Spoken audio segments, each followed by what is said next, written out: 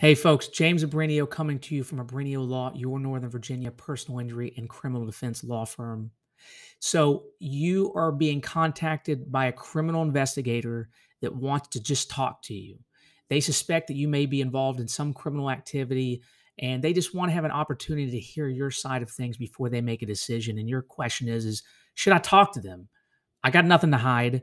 Uh, I don't want to lawyer up. I don't want to make it look like I'm guilty. Shouldn't I just talk to them? Makes sense. My answer is no, you shouldn't talk to them.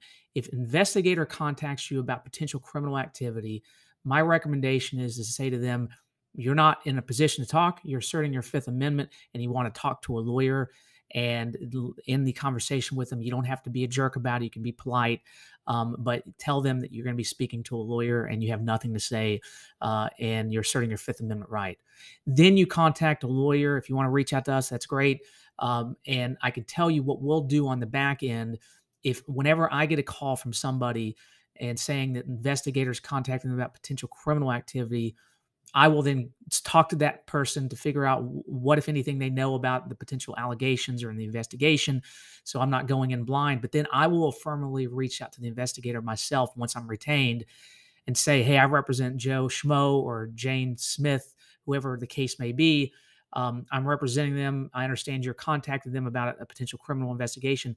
I, the attorney, am just trying to gather information about what you want to talk to them about, what's going on, what are the allegations, and I'll do my best to get as much information as I can before anything happens next.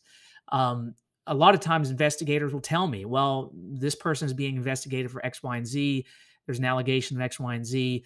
I just want to talk to them to get their information. And, and uh, what my job there to do is to gather information. Rarely will I provide information unless there's a case where I believe that it, it, the the facts are so obvious that providing information may cut it off at the pass. But typically, what I'll do is get as much information as I can so I can be aware of what may be coming down the pike, um, whether or not law enforcement is going to be swearing out a warrant or not. Uh, look, law enforcement's not uh, required to be honest with you or I. They may lie to me as well usually when they're talking to me they'll be a little more forthcoming because they know that you know i'm not going to be played with and at the end of the day um, it's going to be very unusual that i'm going to agree to them talking to you. Um, it, it, would be very unusual for me to say yes you know what? My client wants to come down and, and sit down and talk with you unless it's a unique case where um, cooperation makes a lot of sense but typically speaking if you're just getting called out of blue about investigation um, I will typically be telling law enforcement, at least at this time, we're going to be asserting our Fifth Amendment right. Let us know if there's going to be a warrant coming down. Let us know if you're going to issue a charge. And I will let them know that as I'm representing you, our job is not trying to run or flee. We'll cooperate if there's a warrant that needs to be uh, served upon you because a criminal charge is coming down, uh, and we're not running. But at the end of the day, I always I, I I fall on the sword and say, look, I'm a criminal defense attorney. Uh, my job is to serve the Fifth Amendment uh, unless there's something very unusual. So I'm the one asserting that on, on my client's behalf. And, and I do my best to take the blame for that. Um, now, what does that result? Does that mean that if if you are not talking to law enforcement, that there's more likely to be a charge that comes down because you're no longer co- cooperating? At least in my experience, I don't believe that the charging decision by law enforcement changes based upon you not talking.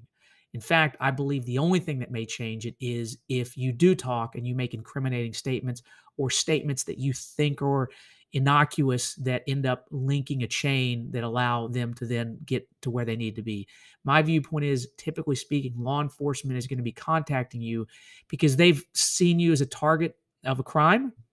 They in their mind are already geared to charging you and either they're trying to get more information in order to make uh, the charge against you have more leverage or they're not quite there yet they're not quite at the threshold to charge you and they're hoping that they can get there. So again my viewpoint is um, uh, if you get called by law enforcement if they're asking you to come and sit down put the brakes on assert your fifth amendment say that you're talking to an attorney and then reach out to an attorney for advice uh, and then that attorney can guide you as the next steps about what happens. If there's going to be cooperation, that that needs to be something that's done very specifically and very intentionally, and it's done with the the understanding from law enforcement and the prosecutor's office that there's going to be credit for that. But otherwise, typically speaking, I'm not going to be letting my clients talk to law enforcement.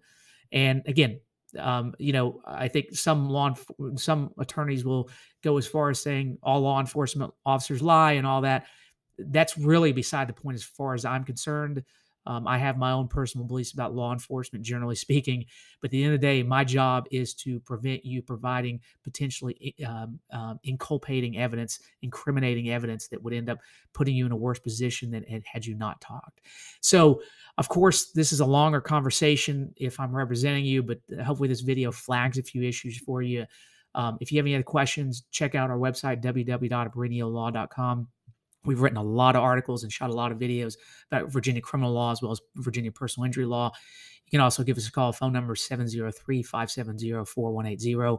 Oh boy, you find this video useful uh, and you can reach out, but otherwise, stay safe uh, and best wishes. Thanks.